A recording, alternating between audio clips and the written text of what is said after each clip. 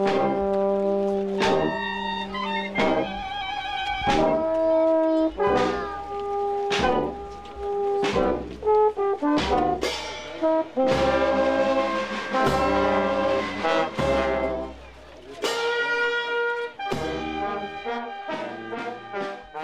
ciudad de Comayagua o Santa María de Comayagua, en Honduras, se celebra cada año con gran fervor religioso la Semana Santa, la Pasión de Cristo. En Viernes Santo, docenas de alfombras de acerrín multicolor se elaboran en el camino de la Vía Crucis, esperando con ansia que las imágenes acepten su ofrenda artesanal y santifiquen su suelo. Sin embargo, esta tradición inició hace poco en las calles de Comayagua. Aparentemente la, tradición de las alfombras realmente se, origina tanto en Europa como en América. En Europa se hacían alfombras al concepto del Dios que tenemos nosotros, el concepto del cristianismo. Pero en América también se hacían alfombras al concepto de los dioses en que se creía. En el momento de la conquista ocurre un sincretismo en esto. Y entonces ya las alfombras empiezan a tomar un motivo cristiano, se empiezan a realizar pero con motivos cristianos. Aparentemente el lugar donde se tiene noticia que empiezan a aparecer alfombras es en Huamantla, México. Esta tradición baja a Guatemala, de Guatemala llega a El Salvador y a Honduras nunca nos llegó. Hasta 1963, cuando mi madre, que era salvadoreña, se casó, se quedó viviendo aquí y como ella lo hacía en, El Salvador, entonces comenzó a hacer una alfombra también aquí.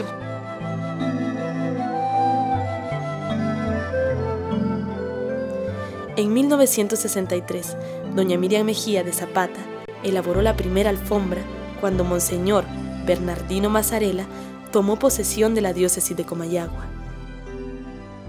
Durante mucho tiempo, creo que más de 100 años, esta ciudad no había tenido obispo y lo nombran a él, entonces era una ocasión que había que hacer algo especial. Hicieron una alfombra que era un corderito y esta fue hecha frente a la iglesia catedral.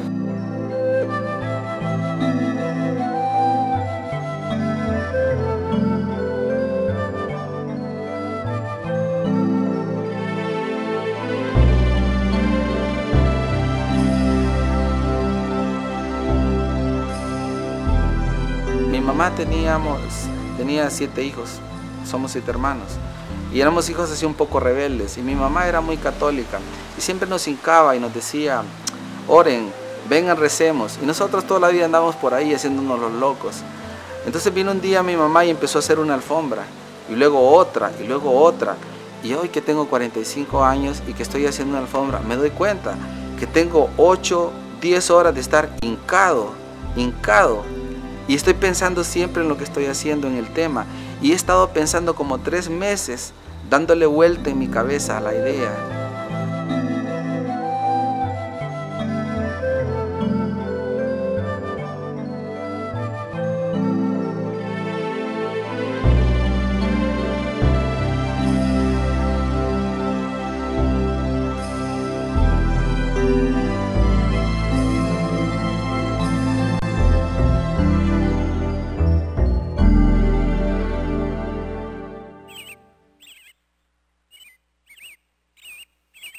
En la actualidad, la familia Zapata no trabaja sola. 43 familias e instituciones se suman con devoción a esta tradición. Trabajan entre 7 y 12 horas continuas durante la noche y la madrugada.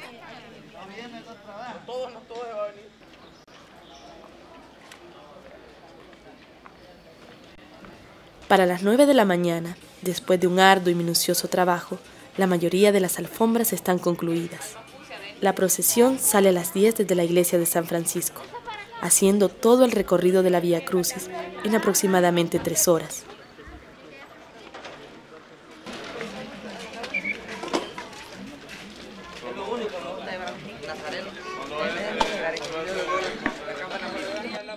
Empezamos familia realmente con el pasar del, tiempo, este, así como los cuadros vivos los hacen únicamente familias, que es como una devoción que se va pasando de una generación a otra, igualmente nosotros, pues lo mismo, mi madre ya está muerta, ahora nosotros, y cuando nos muramos nosotros, pues esperamos que sean nuestros hijos que continúen haciendo una alfombra en el mismo sitio donde hemos trabajado. Hemos pedido que la gente ponga el nombre, para que se dé a conocer. Entonces hay muchas instituciones ya que se quieren dar a conocer. Hace tiempo ofrecíamos y decíamos a los bancos, patrocinen una alfombra, pongan el logo, les sirve de, publicidad y bueno, y colaboran con la ciudad para dar a conocer. Em, pues bancos realmente nunca tuvimos la anuencia de ellos, pero sí los colegios, por ejemplo, de prácticamente todos los colegios de Comayagua están realizando en este momento una alfombra. Em, y hay otros grupos este, de jóvenes eh, que, están integrados en la iglesia, la pastoral juvenil, eh, qué sé yo, curso de cristiandad, que también hacen sus alfombras.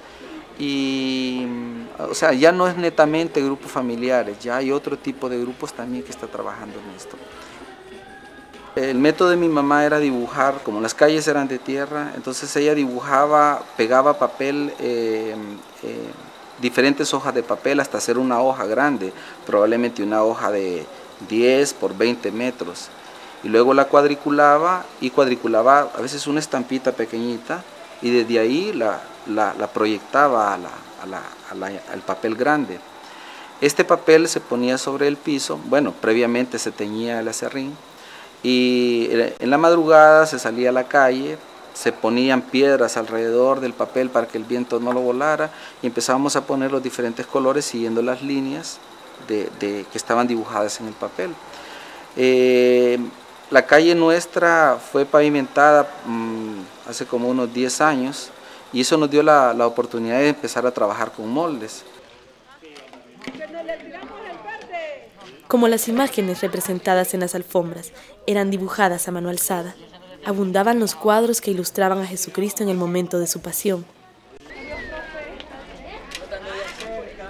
Con la introducción de los moldes, los motivos se diversificaron, haciendo diseños repetitivos a lo largo de las alfombras, con flores, escudos, figuras geométricas y otros.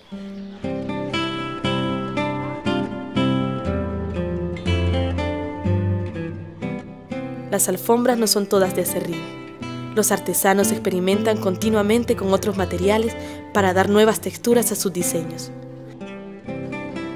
Se utilizan semillas de diferentes tipos, sal, brillantina, arena teñida, marmolina, hojas de árboles, flores y otros productos naturales y artificiales. Asimismo, es frecuente encontrar dibujos decorados en papel dentro de las mismas alfombras. La continua búsqueda de originalidad hace que la muestra sea variada, vistosa y colorida. Una vez que se tira el acerrín, se compacta para que no se huele y luego se humedece para que no se huele. Pero para compactarlo usamos unas cosas que llamamos aplanadores, que son unos pedazos de metal, y vamos apretando. O hemos hecho un, bloque, un tubo de poliducto lleno de concreto y lo hacemos pasar. Pues este año ya le, hicimos una especie de mango para que sea como que uno esté trapeando. Entonces va a ser mucho más fácil pasarlo de un lado para otro, porque son distancias de 8, 12 metros los que hay que... Y antes había que estarse tirando el rodo, agarrarlo y el otro regresarlo. Pues yo creo que todas las familias, año con año, vamos inventando nuevas, em, con las experiencias que vamos teniendo, nuevos aparatos, digo yo, nuevas ideas, nuevos materiales le mencionaba que este año vamos a intentar dar laca sobre una alfombra para ver si es posible conservarla. Si la cosa funciona, en teoría la procesión va a pasar y la alfombra va a quedar intacta. Desde el mes de diciembre, la familia Zapata empieza los preparativos para su alfombra. Lo primero es tener el tema para el diseño. La iglesia todos los años toma un tema y este año el tema es los 500 años de la presencia eucarística, 1502, que es cuando Cristóbal Colón llega a Trujillo y al bajar oficia la primera misa, entonces presencia eucarística, o sea, la primera vez que en territorio hondureño y americano este, se ha consagrado la Eucaristía. y Jesús se ha hecho presente, lo que creemos los católicos. Y nosotros usualmente decimos, bien, el tema de la iglesia es Si quieren, hagan las alfombras con respecto a ese tema, si no, lo que quieran.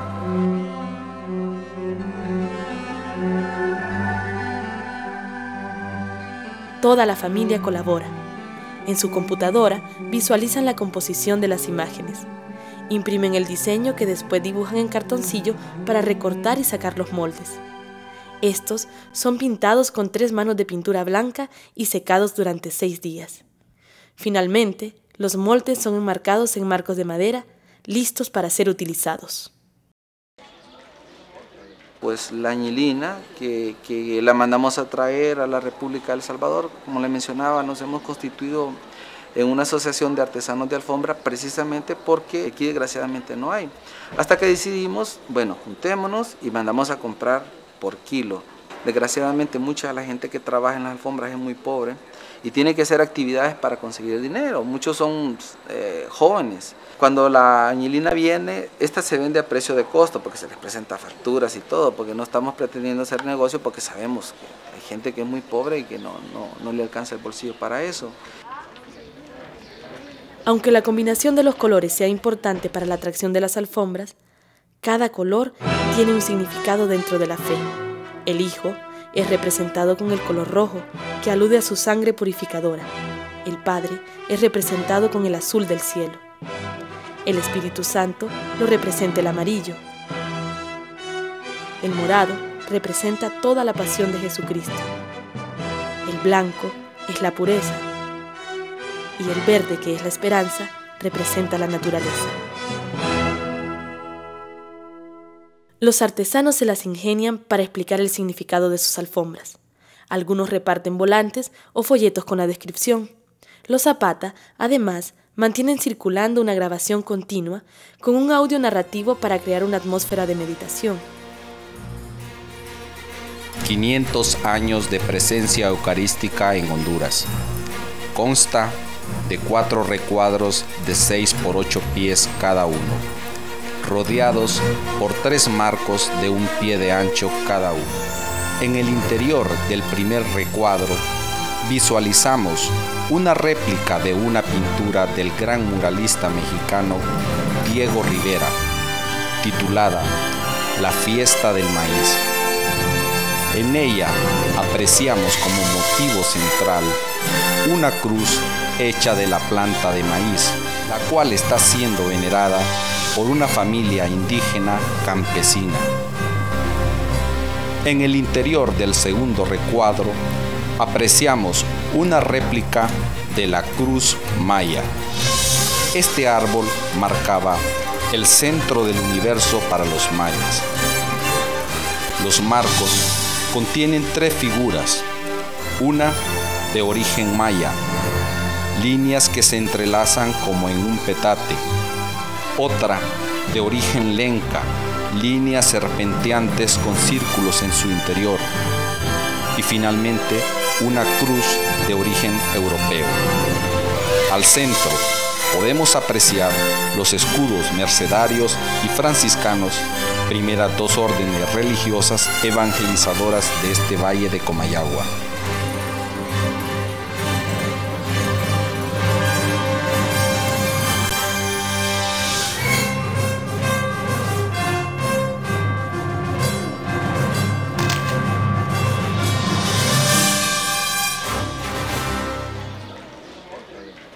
Entre cada alfombra se colocan escaleras para que los visitantes y medios de comunicación puedan tomarles fotografías. Una alfombra de 100 metros de largo cuesta aproximadamente 12.000 empiras. El precio es alto, pero la devoción que los motiva a continuar con esta tradición es aún mayor.